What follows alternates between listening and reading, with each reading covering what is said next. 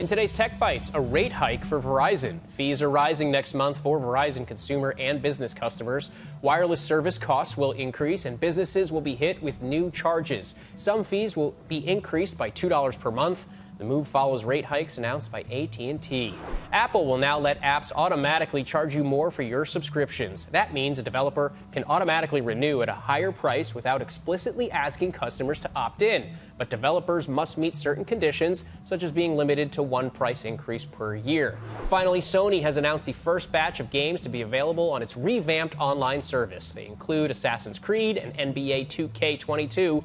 A month subscription starts at $10. PlayStation Plus will have three tiers when it arrives on June 13th.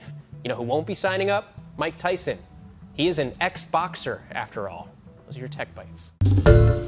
Hi, everyone. George Stephanopoulos here. Thanks for checking out the ABC News YouTube channel. If you'd like to get more videos, show highlights, and watch live event coverage, click on the right over here to subscribe to our channel. And don't forget to download the ABC News app for breaking news alerts. Thanks for watching.